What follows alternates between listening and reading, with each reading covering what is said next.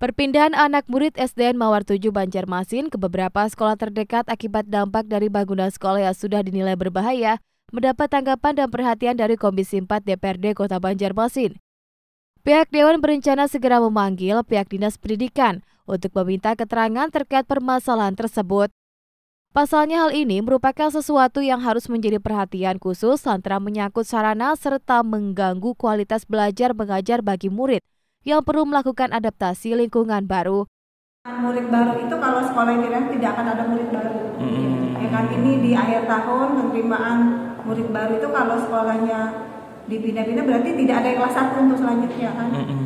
Nah kemungkinan kalau berlanjut pertama berarti uh, tetap sampai yang belajar ini aja.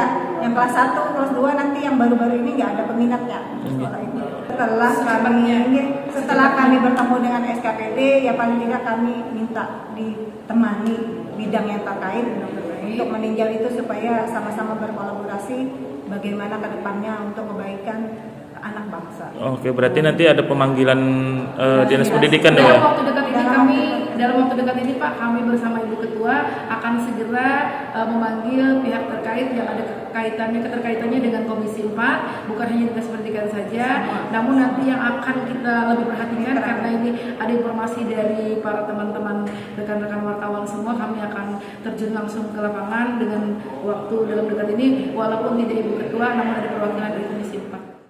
Perlu diketahui beberapa bagian dari bangunan SDN Mawar 7 mengalami amblas.